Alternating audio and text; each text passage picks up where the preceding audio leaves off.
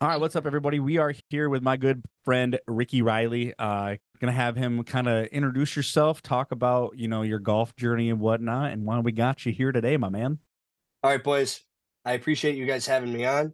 Um, a big, big fan of golf. Big fan of the podcast. I've been following it um, here a lot recently, and uh, decided I text Gary and see if I can get on here and talk about some of my experiences and uh, just kind of talk golf with you guys. So I'm um, looking forward to kind of shooting it with you guys and uh, a little bit about me. Um, I, am an avid golfer, love the game, and um, recently acquired my WR4GD pass. Um, for those of you who don't, who don't know what that is, it's um, world ranking for golfers with disability and uh, I'm here to talk about that a little bit today. Yeah. Um, when did you start to get into golf then? Um, so I got into golf and started it when I was when I was pretty young. Um, unfortunately, I didn't really enjoy the game when I was younger. Um, I played on a school team uh, seventh and eighth grade year, and just didn't have any interest in it, um, which is unfortunate because looking back, I, uh, I I see the kids who I was kind of shoulder to shoulder with there, and they've kind of taken off to be unbelievable golfers. And uh, I do, I am curious what what I'd be like in the golfing world if if I had stuck with it. Um, so wasn't really active with it through high school, um, and then COVID hit, and I'm sure we can all relate that COVID was a huge sprouting moment for a lot of people's golf games, and um, yeah. Oh, yeah. mentally just kind of took it as a way to get away. Um, I was still playing hockey at the at the time, so really I was I was still competitive with hockey and busy with it. And then um, once I once I kind of stepped away from hockey, I needed something to be competitive with. Um, I needed something to really bring my competitive self, and I just wanted I needed something to get better at, and golf was that. And um, golf kind of I don't want to say changed my life, but definitely guided me to to new experiences, and I'm so thankful for that.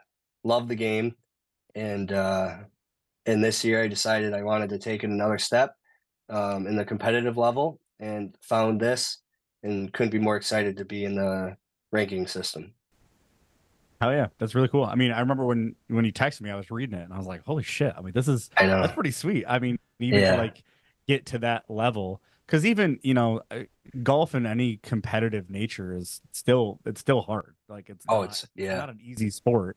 No um, absolutely. so i i guess kind of give me or give us like your thought process of like okay i want to get competitive with so like how did that start? When's like the first event that you're going to and like kind of give us more insight into that? Sure.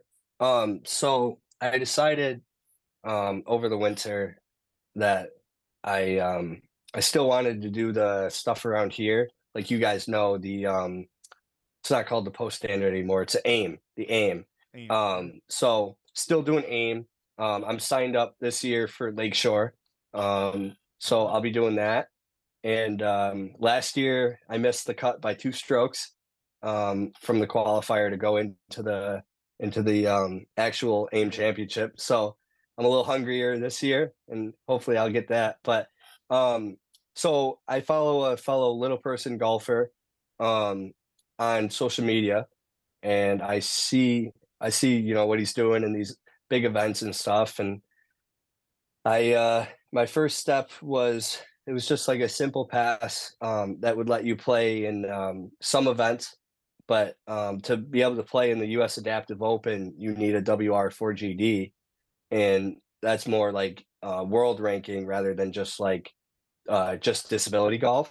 So right. um, I took that. Uh, just needed to get examined by a professional or a medical professional, and you know, obviously, I passed the uh, requirements for uh, for short stature.